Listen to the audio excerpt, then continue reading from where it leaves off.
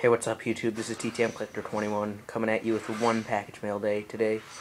One, it's a YouTube from Red Rays Baseball. I'm not going to open it up, but I already opened the top. I looked inside and I saw the cards, and it's a Christmas present for me. But um, I mostly wanted to make this video with my prayers going out to the families that got uh, hurt by the incident that happened today in Connecticut. It's just a tragedy to hear what happened. 18 children killed, an elementary school shooting. It's unthinkable. And my prayers just go out to everyone that um, is victimized from this. It's really sad. Alright, that's it for me right now. Thank you for watching.